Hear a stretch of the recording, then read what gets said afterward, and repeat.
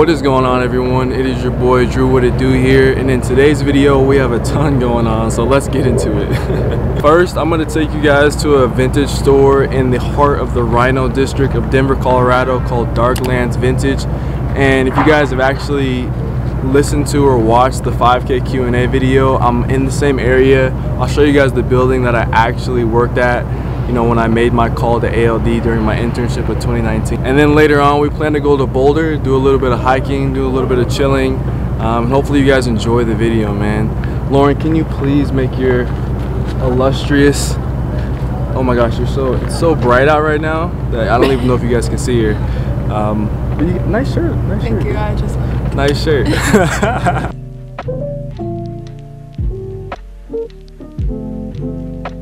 So for those of you who've watched that 5K Q&A video, like I said, this building right here was the exact video I worked in in 2019 when I decided to see if I could work at ALD and try my luck at a, a, call with Will Grogan. I think we can cross the street. Oh yeah.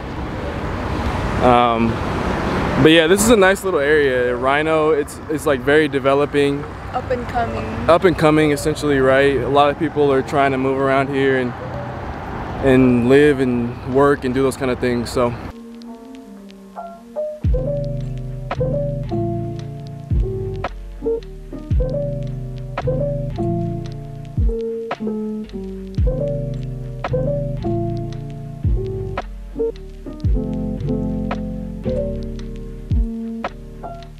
So right now we're in the source, which is kind of like a hotel slash shopping slash eating building, right? Right behind the camera is where we're going to be heading to, which is Darklands Vintage. I showed you guys a little bit of b-roll of what it looks like to be in here. Like I said, it's kind of like an up and coming kind of part of Denver Rino. Uh, it's been here for a while actually, but it has a lot of different elements to it as well. I'm gonna show you guys the shop, obviously. I got the owner who I'm gonna interview like I've been doing recently. Let's get into it.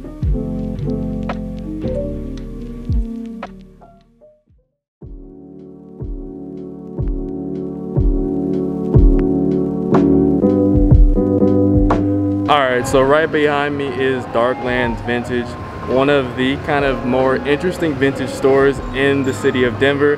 I think it's a super underrated one, maybe one of the most underrated ones. Because of the location, I think it's a very kind of unique type of location and I'm really excited to show you guys what they have. Let's do it. I've been saying let's do it this entire video. Let's for real do it.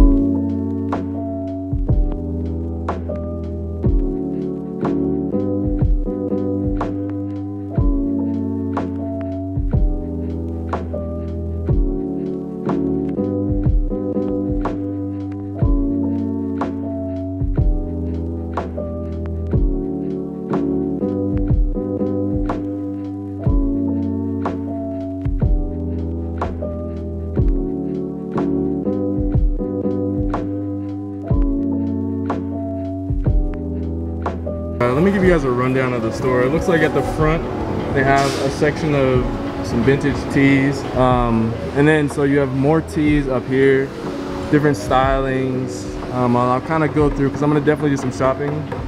And then you have different selections of, of pants, which if you know your boy, he absolutely loves a good pair of pants, a good pair of denim.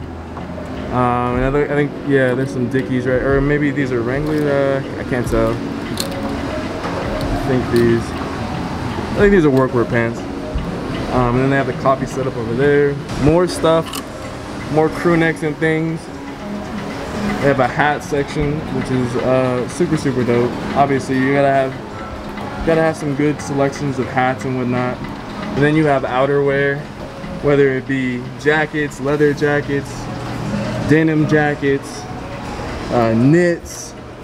These look like some style of military jackets or, or, or chore jackets, varsity jackets, hoodies. So you you pretty much have the entire gamut when it comes to what you would expect to see in a vintage store, in a, in a store that has a has curated items.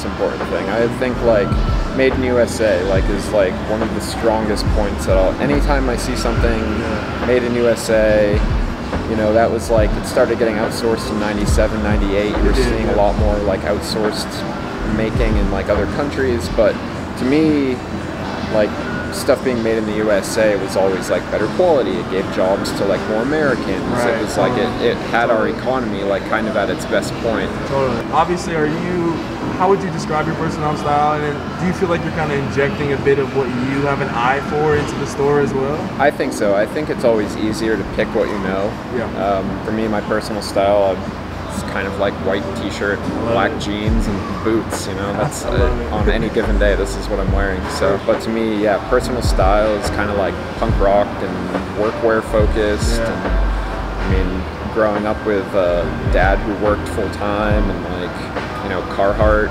like those those pieces that you can get and you can wear them for 60, 70 years and it's never changed, you know? Like a, a Carhartt Detroit jacket is no different than it was when it was first, you know, launched. Yeah. So, um, just things that like never really go out of style, but are always classic, you know?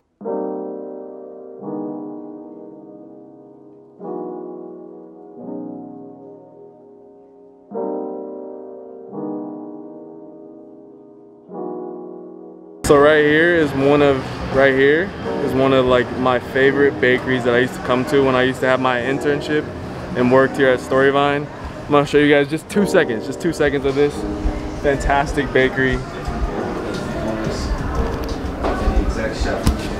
These guys do fantastic work. I mean, they're always working, always creating good treats and, and different things like that. So, I really appreciate it. Seriously. That was enjoyable. Didn't pick up anything today, um, but I might come back in the future and do a little bit more shopping there. Next time we see you guys, we'll be in Boulder, Colorado, so we'll see you there.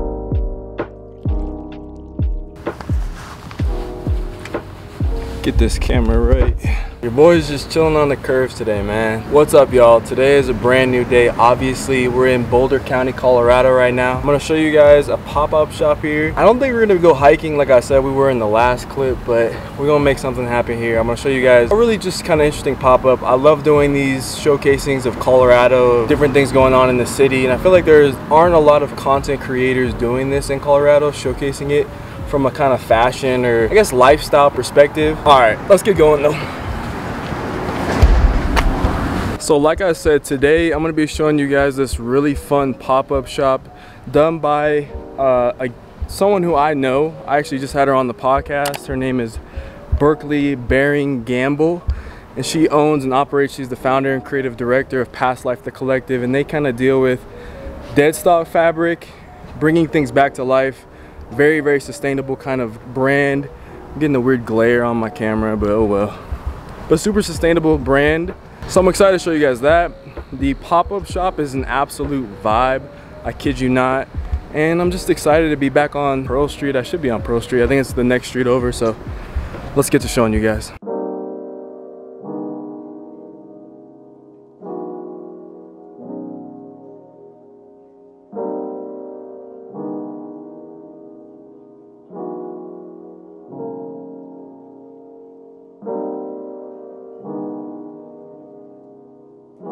All right, here it is. Right behind me is Past Life, the collective. I'm gonna grab my mask, which is in my little front pouch right here. We're gonna head in, all right?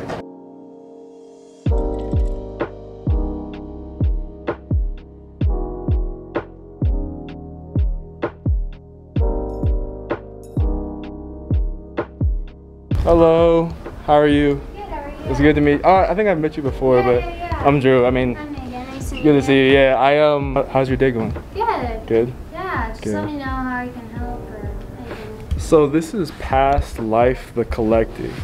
And like I said, I had Berkeley on my podcast yesterday. No, a few days ago. A few days ago. And she was a fantastic guest. And so I actually found out about her through this pop-up. I was doing the Canoe Club video and decided it'd be cool to maybe showcase or uh, walk into another store and, and Past Life was obviously here i was immediately impressed by the vibe. I'll make sure to show you guys some b-roll shots and things like that. And megan's here right now. Megan say what's up to the to the Hi, vlog. so so there's that. And i've actually spoken to megan before just um, coming in before and just chatting it up. This, this the the space is absolutely beautiful. You have art on the wall which like you can see behind me. I don't know if this is necessarily the, one of the art pieces but it's over here.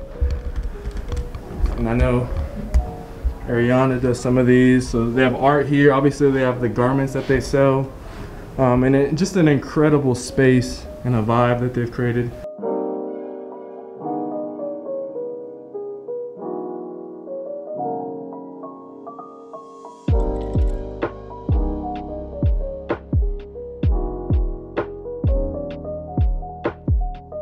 So the shop is mostly women's wear right now. I know Berkeley wants to kind of divulge into doing some men's wear. But like I said, what makes the shop and what makes Past Life the collective and the brand so sustainable is this idea of taking dead stock fabric, right? I know in like the fashion, like the sneaker world, for example, if you're in the sneakers, when something's dead stock, it means that it's brand new. But in the fabric kind of world, it means that you're repurposing fabric, excess fabric, essentially, and you're repurposing it for new garments. So, like, is everything is everything in here dead stock, right? So everything in here is made from dead stock fabric. That's why I wanted I wanted to double check myself before I Yeah. before I just spew a lie. But yeah, everything in here is made out of dead stock, which is incredibly, incredibly dope.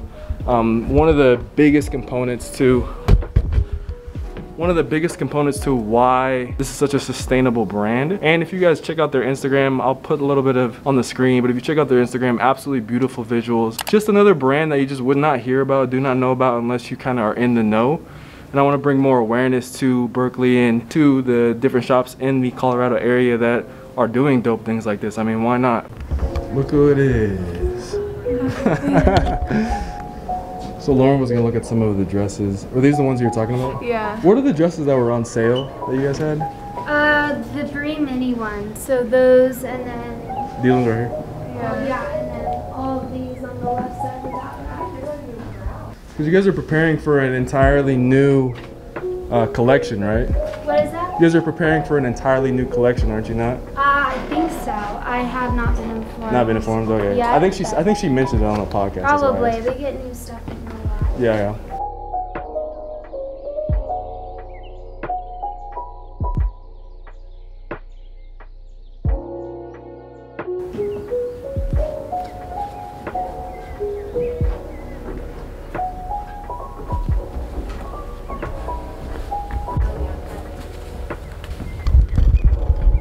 Also want to give a huge shout out to my man Evan for hooking up the Severed Circles shorts. Absolutely beautiful. Love these things. Thank you, my boy. Appreciate you. An incredibly cool place. Um, like I said, make sure to check out the podcast that I did with Berkeley. A really fun podcast. I think I'm gonna check out Canoe Club before I head out and see what the dudes are up to over there, and uh, then we can head on home if that sounds okay.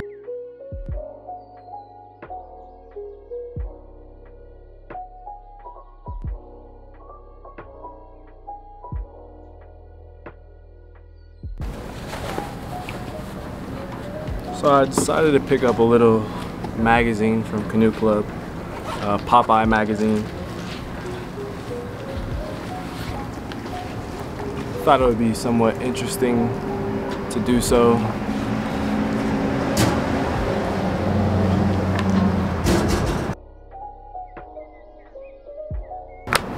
But I'll look through this a lot more thoroughly on my own time. Let's get back home, get back to the, the studio, get back to where I normally am filming and uh, so I can talk to you guys a little bit.